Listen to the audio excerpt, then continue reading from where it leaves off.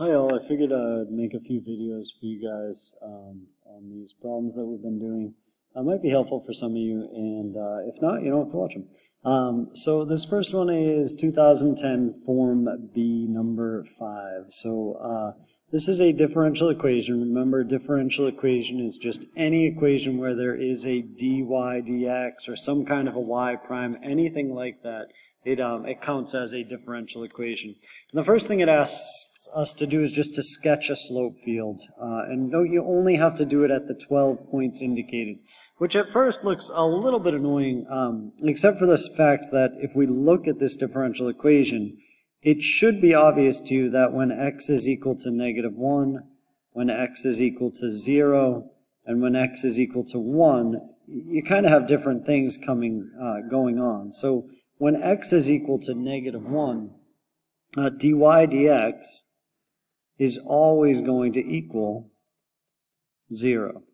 All right, when x is equal to negative 1, it's always going to equal 0 over the y. Uh, so we can easily put in these slopes at negative 1. We can draw a line segment of uh, 0. And this thing is obviously undefined right here. There's no definition right there. And that's not a huge concern for us because we're only looking at the, um, at the interval from negative 1 uh, to 1 for our x values. Uh, so that's not a huge concern. We don't have to worry about that too much. Um, and, and, we'll see that in, in, in a few minutes. Uh, at, at x is equal to 0, at x is equal to 0, our dy dx is equal to 1 over the y. Um, so what we're going to have here is we're going to have a, a slope of 1 over 2. Then we're going to have a slope of 1 over 1 and we're going to have something that's undefined. We don't, we're not asked to do anything here anyway. This is going to be a negative 1. this is going to be a negative, um, 1 half. So that's going to be a little less steep. I'm sorry. Then, oops, that's not a great picture. Um, and you don't have to be perfect on these. You really don't, but just do the best you can. I am not doing a great job. Uh, but we would be shooting for some point down here. We would just be less steep um, than we are up above. So I'm actually going to make this a little nicer. Oh gosh, this is a little bit annoying. Um, but I want to make that negative 1 as, as much like a negative 1 as I can. And maybe I just write in m is equal to negative 1 in there, just to make sure the graders know. And then for x is equal to 1, our dy dx is going to be 2 over y. So 2 over 2 is going to give me a slope of 1. Um, 2 over 1 is going to give me a slope of 2. Then we're going to have a negative 2 slope down here. That isn't great either. I'm going to draw it a little bit steeper, a negative 2, and then a negative 1.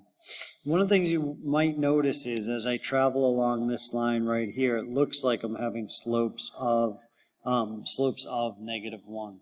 And that's what I'm asked to do. I'm asked to sketch the solution curve that passes through 0, negative 1. So through 0, negative 1, you, all you have to draw for this really is to indicate that this is a line segment. This is a line going through here. This solution set that goes through 0, negative 1 is a line. It's not defined right here. Um, you know, I on their rubric, I'll tell you this was three points.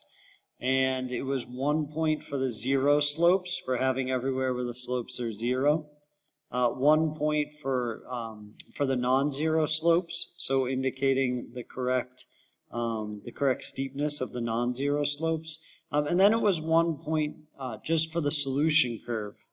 Um, and they're usually pretty friendly about this point, honestly, as long as you show it passing through that line and showing that it's linear and it looks like this thing is going to be linear going on forever and ever and ever. I know in class, uh, for a few of you, I had indicated that maybe you could make this go uh, uh, vertical at negative 1 because it is undefined when y is equal to 0. But because of this limitation on the, on the, um, on the x uh, values that are possible, you don't really even have to do that. I would just leave it just like this as a straight line. Um, for part B, it asks us to determine when dy dx is equal to negative 1. So in other words, for part B, we are being asked to solve uh, when x plus 1 over y is equal to negative 1. And when this is going to happen is just when negative y is equal to x plus 1 or when y is equal to negative x minus 1. And you can just indicate that. So dy dx is equal to negative 1. To get full credit, all you had to do is say dy dx is equal to negative 1 when y is equal to negative x minus 1. Um, and also when, of course, y does not equal 0. Uh, we can't have y being equal to 0. So, so that's kind of a funny point. I feel like it's an add-on point of some sort. It's not a difficult point to get. You just have to solve for the y values when um, when this uh, differential equation is equal to um, negative 1. This is a line. This is actually the line that you just drew. Um, that's what it is. Those are the times when the slope is negative 1. Um, that's this that's this solution set right here. That is that line. That line with a slope of negative 1 and a y-intercept of negative 1. And then finally, for part C, you have to find a particular solution. If you see these words, this is always separate and integrate. Always separate and integrate when you are asked to find a particular solution. And believe it or not, this was five points. You would get one point for separating the variables. You get one point for doing the antiderivatives correctly. One point for the constant, remembering that plus C uh, one point for the initial condition being plugged in appropriately, and then if the final point is actually to solve for the y. Solve for the y. Um, so let's go ahead and do that. We're going to start off with y dy is equal to um, the integral of x plus 1 dx. So notice all I did was I separated these two things. I brought the y I guess I should have rewritten dy dx is equal to x plus 1 over y. So I can go straight, I can bring the y over to this side, I can bring the dx over to the other side. So my y is going over here, and it's going next to the dy, and my dx is going to the other side. So that's my separate and then integrate. Now taking the appropriate antiderivative should be straightforward for you. This is y squared over 2 this is equal to x squared over 2 plus x, and remember your plus c. Don't get scuddered.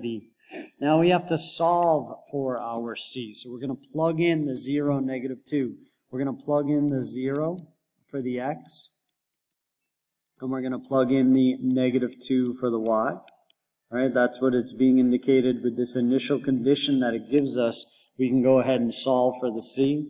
In this case, our c is equal to 2. So we will have y squared over 2 is equal to um, x squared over 2 plus x plus 2. And we can simplify that. We want to solve for the y. So this is y squared is equal to x squared plus 2x plus 4. And finally, to solve for the y, we want to throw a square root on here. Now our final step is to recognize that this thing passes through the point 0, negative 2, and therefore y must be negative. This is a very rare point on the AP exam where they make this an issue. But we need our y to be negative, so we're going to throw a negative sign out in front. And those are five points. Count them. One, two, three, four, five. That's money in the bank right there. And you can get that correct.